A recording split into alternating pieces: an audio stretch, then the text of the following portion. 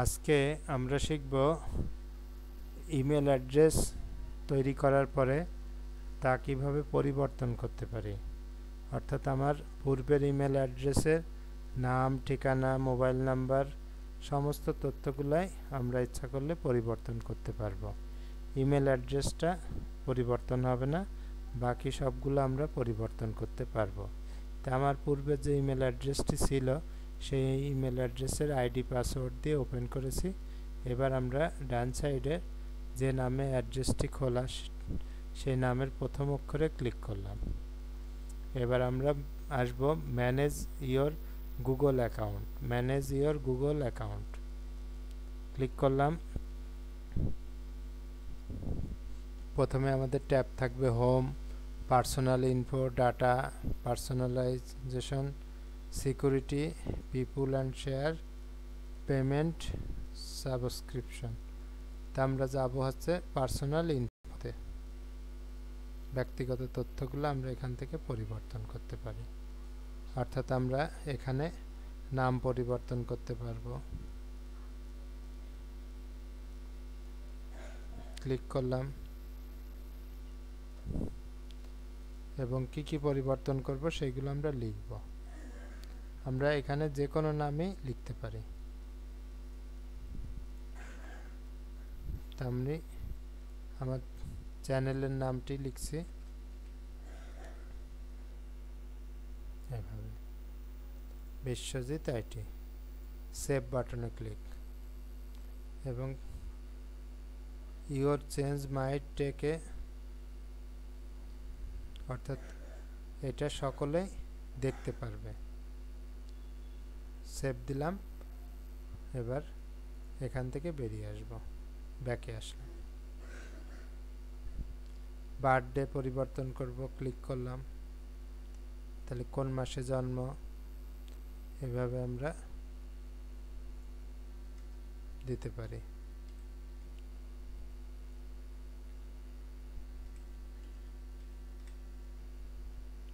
এই জন্ম তারিখটা আমি সকলকে দেখাবো।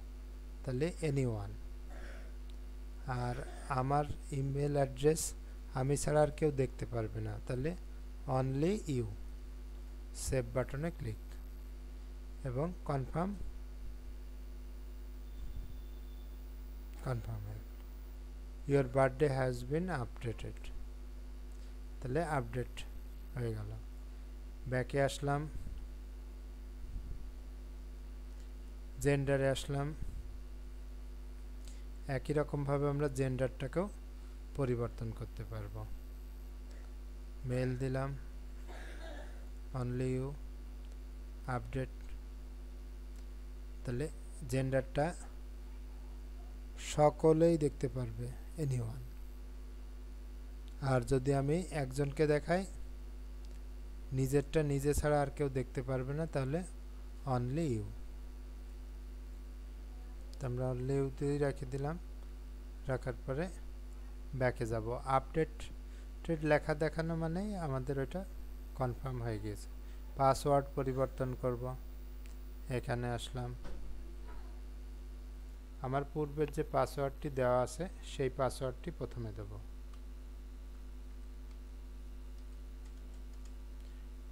নেক্সট বাটনে ক্লিক করলাম। তাহলে এবার আমার নতুন পাসওয়ার্ড দিতে বলবে, তখন আমি পাসওয়ার্ড দিতে পারব। নিউ পাসওয়ার্ড এখানে টাইপ করব কনফার্ম পাসওয়ার্ড একই জিনিস টাইপ করব। দুইটার ঘরে একইটা দেবো।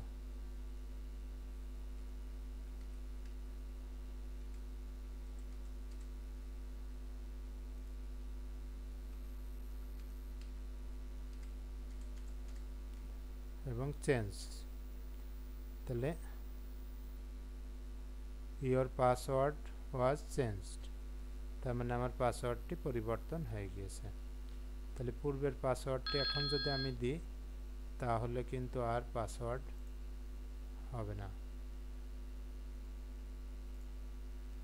নতুন যে পাসওয়ার্ডটি আমি দিলাম, সেই পাসওয়ার্ডটি আমার পরিবর্তন হবে।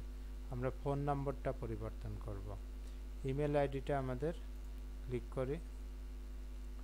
এটা আমাদের রিকভারির জন্য আলাদা একটা মেল অ্যাড্রেস সেট করতে পারি, কিন্তু ইমেল অ্যাড্রেস পরিবর্তন করা যাবে না। দিয়ে identity Google account you can cannot change this address এই জন্য এটা আমরা পরিবর্তন করতে পারব না। আমার ওই অ্যাকাউন্টটাকে ওরকমই থাকবে। তবে আমরা ফোন নাম্বারটা পরিবর্তন করতে পারি। একই নিয়মে আমাদের ক্লিক করলাম। আমি অ্যাডে গেলাম। অ্যাডে যাওয়ার পরে আমাদের অ্যাকাউন্টে আবার সাইন ইন করতে বলবে।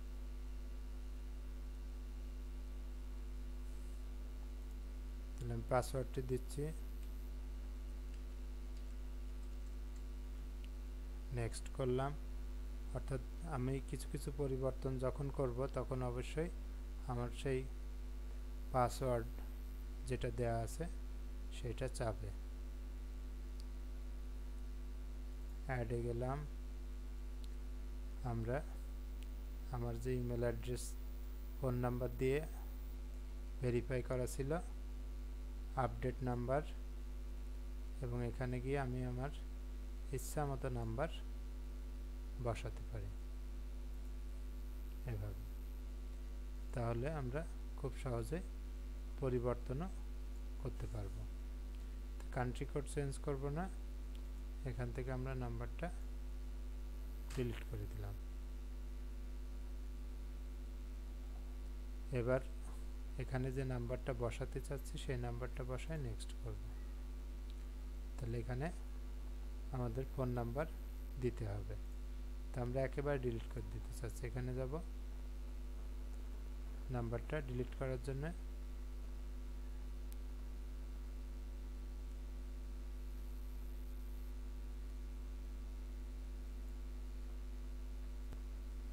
তাহলে রিমুভ নাম্বারের অপশন আসবে। এবং এখান থেকে রিমুভ তাহলে নাম্বারটি কিছুক্ষণের মধ্যে আমাদের দেখতে পাবো। আপডেট এটা হচ্ছে রিমুভ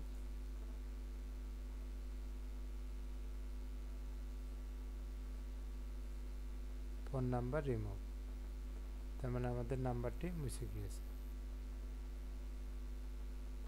আমরা ব্যাকে যাই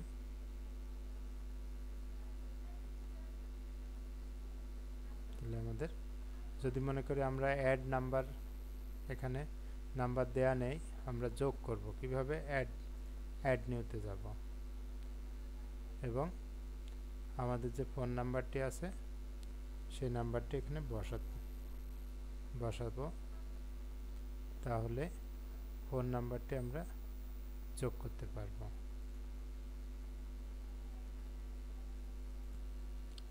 অ্যাড নিউ নাম্বারে যাওয়ার পরে ইন্টার নাম্বার এখানে আমাদের সেই নাম্বারটি আমি যে ফোন নাম্বারটি দিতে চাচ্ছি সেটা সিলেক্ট করব, করার পর নেক্সট বাটনে ক্লিক করব। আমার নাম্বারটি কপি করা আছে, আমি পেস্ট দিচ্ছি। নাম্বারটি বসানোর পরে নেক্সট বাটনে ক্লিক এবং যদি এটা ভেরিফাইও করতে চাই, তাহলে গেট কোড তাহলে আমার একটা এই মোবাইলে কোড গিয়েছে, সেই কোড নাম্বারটা আমি এখানে বসাবো। কোড নাম্বারটা দেখে বসানোর পরে ভেরিফাই বাটনে ক্লিক করব। তো আমি কোডটা দেখে কোডটি বসানোর পরে ভেরিফাই বাটনে ক্লিক তাহলে আমার ফোন নাম্বারের সাথে কোডটি অ্যাড হবে এবং লক্ষ্য করি আমার সেই নাম্বারটি বসে গিয়েছে। এভাবে আমরা ফোন নাম্বার থেকে শুরু করে আমাদের ইমেলের সমস্ত তথ্যগুলোই পরিবর্তন করতে পারব। আমার পুরাতন অ্যাকাউন্ট, এই পুরাতন অ্যাকাউন্টকে যদি মনে করি, স্থায়ীভাবে ডিলিট করে দেব, তাহলে আমরা যাব ডাটা অ্যান্ড পার্সোনালাইজেশনের মধ্যে। এখানে আমরা নিচের দিকে যদি আসি, তাহলে লক্ষ্য করি আমাদের delete a service or your account. Click করলাম। তারপরে ডিলিটে গুগল সার্ভিস গুগলে যেসব সার্ভিস আছে সেই সার্ভিসগুলো আমি চাচ্ছি না, সেই ক্ষেত্রে এটা। আর ডিলিট ইয়োর গুগল অ্যাকাউন্ট এখানে গেলাম। ডিলিট ইয়োর গুগল অ্যাকাউন্ট এরপরে আমরা সত্যি ডিলিট করব কিনা মেসেজ অপশনে গিয়ে চেকবক্সগুলোতে টিক দিয়ে ডিলেট বাটনে ক্লিক করলে আমাদের ডিলিট হবে। তো এবার ডিলিট করার অপশনে যাওয়াতেই আমাদের সেই পাসওয়ার্ডটি চাচ্ছে। পাসওয়ার্ড দিলাম। দেওয়ার পরে চেক করছে। চেক হয়ে গেলে আমাদের অ্যাকাউন্টটি ডিলিট অপশনে আসবে। ডিলিট ইয়োর গুগল অ্যাকাউন্ট এখানে দুইটা চেক বক্সে টিক চিহ্নটা দেব। দেওয়ার পরে আমরা ডিলিট বাটনে ক্লিক করব। তাহলে আমাদের এই অ্যাকাউন্টটি স্থায়ীভাবে yes I want to permanent delete this Google account একেবারে স্থায়ীভাবে এই অ্যাকাউন্টটি ডিলিট হয়ে যাবে। তাহলে পরবর্তীতে আমরা এই অ্যাকাউন্টটি আবার ফিরে পাওয়ার জন্যে নতুন করে তৈরি করতে হবে। নতুন অ্যাকাউন্ট তৈরি করার নিয়ম অলরেডি আমি আমার চ্যানেলে দিয়ে রাখছি। আপনারা নতুন অ্যাকাউন্ট তৈরি করতে চাইলে ওই টিউটোরিয়ালটি দেখে নেবেন। তাহলে ডিলিট অ্যাকাউন্টে ক্লিক করলাম।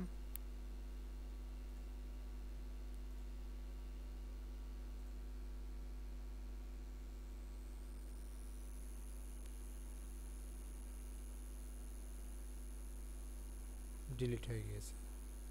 লক্ষ্য করি, আমার অ্যাকাউন্টটি স্থায়ীভাবে ডিলেটেড তো আমি ব্যাকে যাই, দেখি কি করে। এভাবে আমরা অ্যাকাউন্টটি ডিলিট করেও দিতে পারব।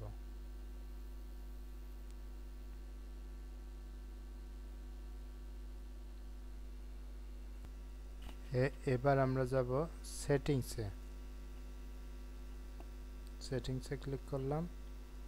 করার পরে আমরা ঢুকব। সমস্ত সেটিং দেখুন। এখান থেকে ক্লিক করলাম।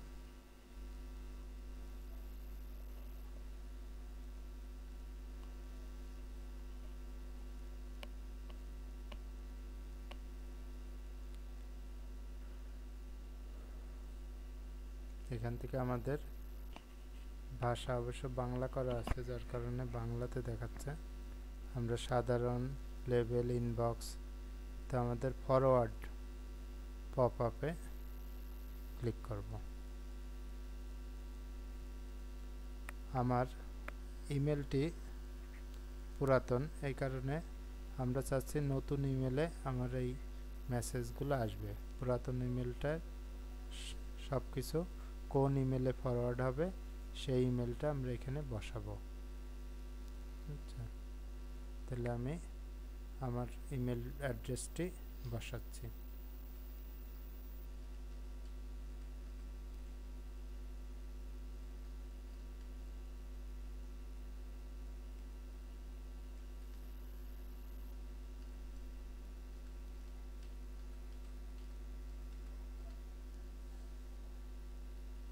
অর্থাৎ নেক্সট করলাম পরবর্তী।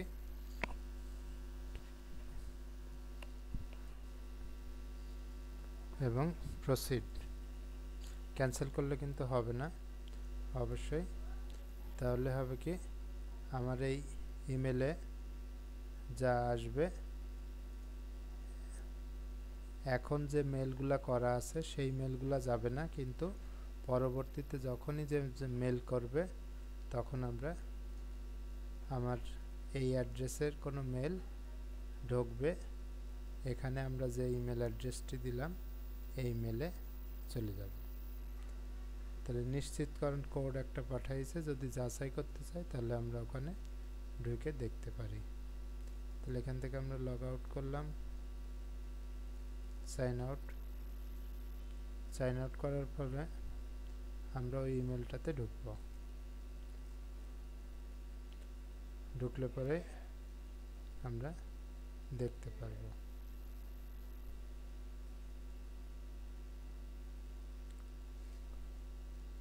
তাহলে খুব সহজে আমরা জিমেল অ্যাকাউন্টের সমস্ত তথ্য ইনফরমেশনগুলো পরিবর্তন করতে পারব। এমনকি অ্যাকাউন্ট ডিলিটও করতে পারব। আমি পাসওয়ার্ডটি বসালাম। পরবর্তী যে জিমেল অ্যাকাউন্টের ফরওয়ার্ড করলাম এবং আমার পুরাতন ইমেল সেই ইমেলের তথ্যগুলা নতুন ইমেলে যাতে ফরওয়ার্ড করা যায়, তার জন্য আমরা সেটিংসে গিয়ে ফরওয়ার্ড অপশনে গিয়ে পুরাতন ইমেলের পরিবর্তে নতুন যে ইমেল সেই ইমেলে আগের ওই ইমেলেও ঢুকবে এবং কপির মতো এখানেও আসবে। তাহলে এই যে আমাদের সেই কনফার্মেশন কোড ক্লিক করলাম। এখানে ক্লিক করলে আমাদের কনফার্ম হবে অথবা এই কোডটি আমরা কপি করে নেব। কপি করলাম, করার পরে আমাদের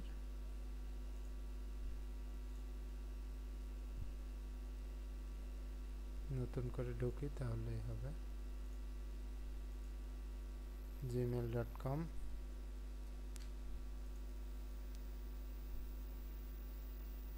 এখানে ক্লিক করলেও আসতো।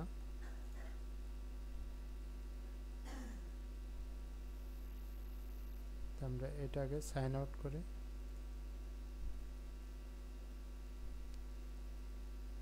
করার পরে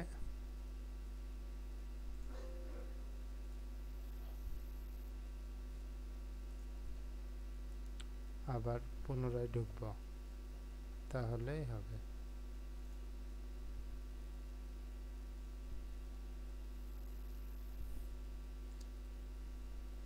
এই ইমেলটাতে আমরা করেছি আর ইমেলের পাসওয়ার্ড দিচ্ছি।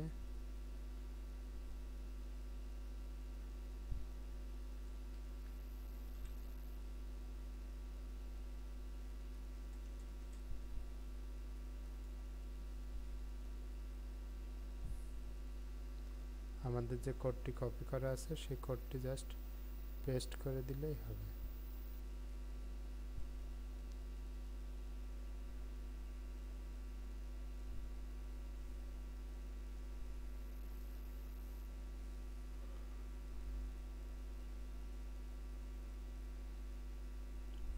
তাহলে আমাদের এই ইমেলের সমস্ত তথ্য আমাদের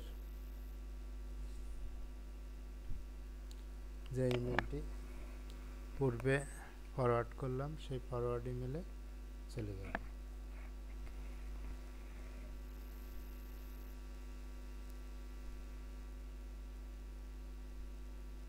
আমরা সেটিংসে যাই। এবার সেটিংসে যাব। সেটিংস থেকে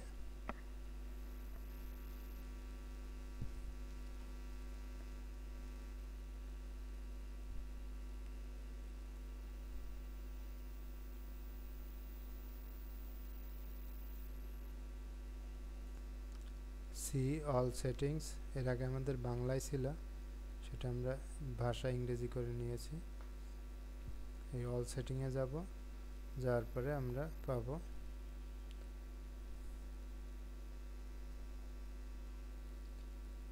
general level inbox forward and pop up এখানে যাব। এবং কনফার্ম কোড কোডটি আমরা পেস্ট দেব, দিয়ে ভেরিফাই বাটনে ক্লিক তাহলে আমাদের এই ইমেলের যত তথ্য যে যেখান থেকেই পাঠাক, সেটা আমরা দেখতে পারব এই ইমেলে লক্ষ্য করি, এই ইমেলে চলে আসবে। তাহলে আমার পুরাতন ইমেল অ্যাকাউন্টের তথ্য আমরা আরেকটা ইমেলে ফরওয়ার্ড করতে পারব। এই ইমেলে যত তথ্য আছে, এইগুলা যাবে না। কিন্তু এখন যারা পাঠাবে, সেটা আমার এখানে এই ইমেল ঠিকানায় পৌঁছে যাবে। তাহলে বারবার আমার যদি তিন চারটে অ্যাকাউন্ট থাকে, খুলে দেখার দরকার হবে না। এভাবে আমরা ইমেলটিকেও পরিবর্তন করতে পারি। তা না হলে আমাদের অফিসিয়ালি কাজে একসাথে দুটো তিনটে অ্যাকাউন্ট হ্যান্ডেলিং করার থেকে এইভাবে সহজ বুদ্ধিতে আমরা এটা করতে পারব। আমার এই ভিডিও টিউটোরিয়ালগুলি কেমন লাগছে তা আমার কমেন্ট বক্সে অবশ্যই জানাবেন। ভালো লাগলে লাইক দেবেন শেয়ার করবেন এবং আমার এই চ্যানেলে যদি নতুন হয়ে থাকেন তাহলে অবশ্যই চ্যানেলটিকে সাবস্ক্রাইব করবেন। আর যারা পূর্বেই আমার এই টিউটোরিয়ালগুলো দেখছেন এবং সাবস্ক্রাইব করেছেন তাদের অসংখ্য ধন্যবাদ।